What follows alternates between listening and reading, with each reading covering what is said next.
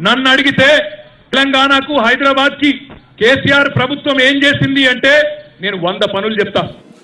వంద చేసామని చెప్తారు. వంద లేదు నీ బొంద లేదు. నువ్వు మీ అయ్యా ఎన్నికలు రాగానే ఆకాశం అద్దుగా హామీలు ఇస్తారు ఆ తర్వాత దోకా ఇస్తారు. వందనా నీ బొందనా వంద వంద అంటున్నావు. గవే ఐదు చెప్తున్నావు. నూట యాభై డివిజన్లలో నువ్వు ప్రచారం చేస్తే గవే ఐదు. మీకు నీళ్ళు ఇచ్చినా కరెంట్ ఇచ్చినా ఐదు రూపాయల భోజనం తెచ్చినా బస్సు దవాఖానలు తెచ్చినా మెట్రో రైలు వేపించినా నీ బస్సు దవాఖానాలు గూగుల్లో తప్ప గుడిసెలకు దొరికే పరిస్థితి లేదు. నీ మెట్రో రైలు నువ్వు వేపించింది కదా అందులో సెంట్రల్ గవర్నమెంట్ వాటా ఉంది. ఐదు రూపాయలు అన్నా నువ్వు పెట్టించినావు.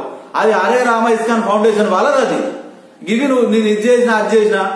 అయినా నువ్వు చేసేది నువ్వు ఇచ్చేది ఈతకాయ ఎంత మా దగ్గర దుబ్బేది తాటికాయ ఎంత ఇది చేసిన అది అని చెప్తున్నావు. మరి మా దగ్గర తీసుకునే చెప్తలేమేంది మీకు ఇన్ని ఫైన్లు వేసినా మీకు ఇన్ని చలాన్లు వేసినా మీకు ఇన్ని ట్యాక్సులు వేసినా మీకు ఇంత కరెంట్ బిల్లు పెంచినా మీకు ఎల్ఆర్ఎస్లు తెచ్చినా బీఆర్ఎస్లు తెచ్చినా మరి ఈ చెప్పట్లేవు. బహుశా ఇక రానున్న రోజుల్లో ఎంఆర్ఎస్ అని తెస్తామేమో మ్యారేజ్ రెగ్యులరైజేషన్ స్కీమ్ వివాహ క్రమబద్ధీకరణ చట్టం. అంటే మీరు చేసుకున్న వివాహం చెల్లదు. మా టీఆర్ఎస్ పార్టీ అప్రూవల్ ఇవ్వాలి అని చెప్పి టీఆర్ఎస్ ఫండ్ కూడా తీసుకొస్తాయేమో మరి నాకు తెలిసి. ఇది మీరు చేసేది. ఇది నువ్వు ఒక బాణాసురుడివి నీ నాయకులు ఒక బకాసురుడు. హైదరాబాద్ మొత్తం కబ్జాలు. మీరు కబ్జాలు తప్ప ఏం చేయలే. మీరు అన్ని కబ్జాలు అట్లా చేసి ఈ హైదరాబాద్ని డల్లాస్ చేస్తా అని చెప్పి కల్లాస్ చేసారు ఏంది మీరు చేసింది? నీకు హైదరాబాద్ అమెజాన్ తెచ్చినా అది తెచ్చినా ఇది తెచ్చినా అని సోది చెప్తున్నావు. మరి మూసీ నదిలో మురికి పోగొడుతున్నావు. మూసీ నదిలో మురికి పోయిందా? మూసీ నదిలో మురికి పోలే.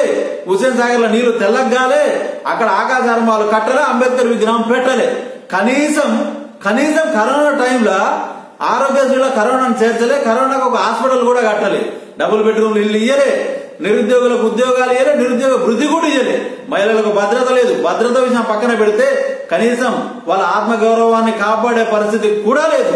ఇస్తాంబుల్ చేస్తా అన్నావు టర్కీ చేస్తా అన్నావు డల్లా చేస్తా అన్నావు మొత్తానికి కల్లాస్ చేసినావు హైదరాబాద్లో రోడ్ల గుంటలు కూడా పోలేదు ఈ రోజు వరకు. అసలు అభివృద్ధి జరగలేదు. కాబట్టి ఈసారి ఓట్లు అడిగే నైతిక హక్కు నీకు లేదు. మీరు వాళ్ళని వీళ్ళని వాడోడు బిచ్చగాడు వీడోడు పిచ్చోడు అంటున్నాం మీరు మాటల మాంత్రికులు మీరు మహానగరంలో మోసగాళ్ళు. మీరు పెద్ద మోసగాళ్ళు. ఈసారి మీ పని కథం. జై హింద్.